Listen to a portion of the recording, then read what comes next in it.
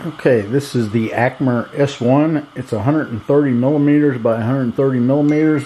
I'm going to do a simple uh, line text here. And this is the first burn I've done on this. So uh, let's see what happens. If it blows up, you'll see that. If it makes perfect lines, you'll see that too. Cut might be out of bounds. Continue anyway. Yes.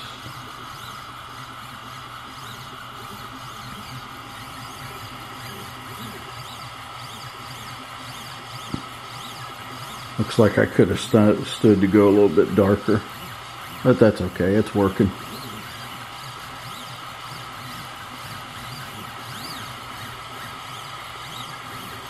And it says Acmer S1.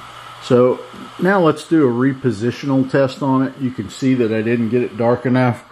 So let's uh, slow down a bit here. Let's go maybe 90 and 90 again for speed and power. And let's hit start and let's see if it engraves on the same place. Or if it's off a little bit. That's a very important attribute to have for a laser.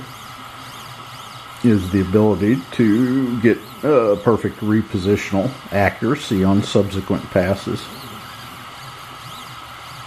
uh, it almost looks like I could have even went a little slower and a little darker. This is a two and a half watt laser, but looks good. And I don't see any evidence of it uh, line doubling or anything like that. It looks pretty good. I like it.